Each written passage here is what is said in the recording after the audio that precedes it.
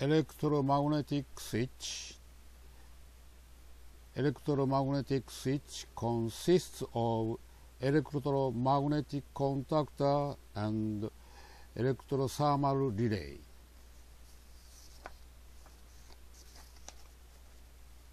Electromagnetic switch the electrothermal relay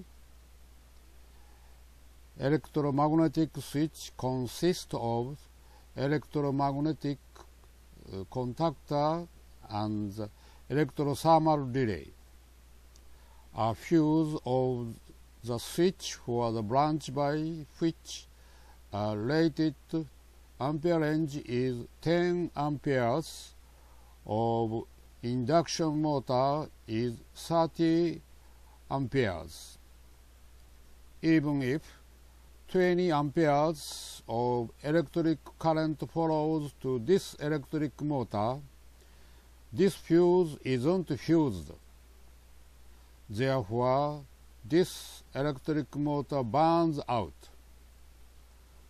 When the setting current value of the electrothermal relay is set to 15 amperes before an electric motor burns out, a relay works and stop an electric motor.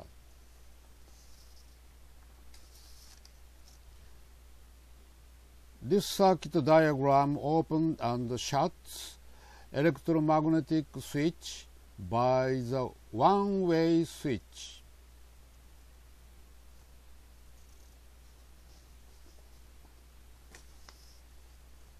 Uh, this circuit diagram open and shuts electromagnetic switch by a push bottom switch.